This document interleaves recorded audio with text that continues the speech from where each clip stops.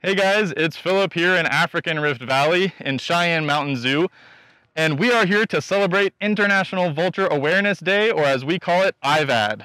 Now we have some special guests to help us celebrate IVAD. Right here with me, we have Godric and Hedwig, who are two of our African Cape vultures. And then we also have Nesher, who's up in the bushes, kind of far away right now. She's a little bit more of an adventurer, and she is a Eurasian griffon vulture. Now these three vultures are snacking on some delicious raw meat with some vitamins and minerals mixed in. And we also have some rats planned for them to get today. And that's because in the wild, they would feed on carcasses of animals. And that's one reason why a lot of people have given them a pretty bad rap because of their tendency to be seen around dead things. They are often associated with death and also with being unsanitary animals, but in reality, they're incredibly hygienic.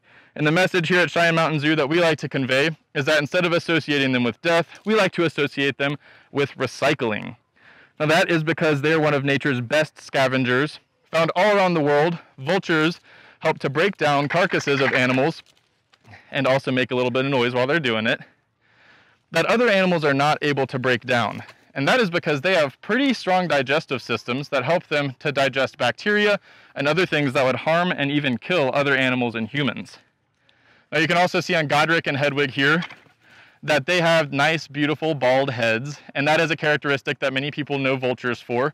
That actually helps them to keep clean while they are feeding because it prevents any bacteria or blood from sticking to the feathers around their head.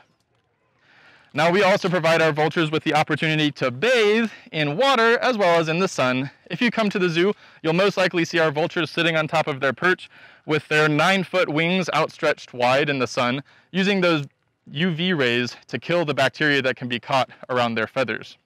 We'll also give them large tubs of water and they have access to the giraffe's watering hole at all times so that they can take their opportunity to take baths in the water, which is one thing that wild vultures are often seen doing as well.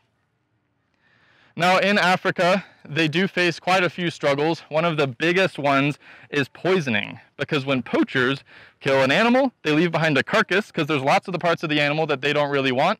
The vultures head to that carcass, and then the rangers are able to find out exactly where those poachers are. Now what the poachers have started to do is poison the carcass when they're done harvesting the bits that they need, and in turn, reducing the number of vultures that are circling the carcass, and all this is really done has majorly impacted the vulture population in Africa, and this is actually a problem that happens all around the world as well. Now, Cheyenne Mountain Zoo does like to uh, chip in and help save the counterparts of Godric and Hedwig and Nesher here, and that is by the Quarters for Conservation program that we donate to VulPro each year. And VulPro is an organization in South Africa that helps to rescue and rehabilitate and release vultures who have been impacted by human-animal conflict. Now, if vultures aren't able to be released, VulPro does give them a second chance of life in their breeding program to help make more beautiful baby vultures and raise that wild population as well. Now, all of our vultures here are very different from one another, just like every single animal at Cheyenne Mountain Zoo and around the world. For instance, Nesher is choosing to be a little adventurer right now over on the rocks. She'll hopefully join us in a little bit. But Brooke and I are going to tell you guys a little bit about the personalities and the differences between Godric, Hedwig, and Nesher. As I said before, we have three awesome vultures here at Cheyenne Mountain Zoo, all with vastly different personalities. So if you guys see a little bit of quarreling during this next meal, don't worry. It is something that vultures do here and in the wild, and it actually helps with their digestion when they're bumping into one another. Now, Brooke is gonna tell you a little bit about her favorite vulture named Nesher.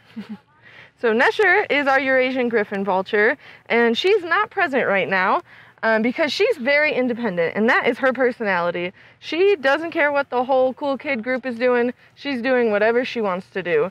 Um, she also is always very excited to eat. Um, she vocalizes a lot when we bring her food as we're walking up. She's always super excited to see us keepers. And I feel like that's why I identify with Nesher. I also get very excited when food's coming. and I also like to do my own thing. And she can be a little sassy sometimes. Now, Hedwig is the other vulture that's joining us down here just past Godric. And Hedwig is we like to think one of our most observant vultures. She's pretty cautious whenever we give them new toys, and she always likes to make sure that Godric is the first one to explore it.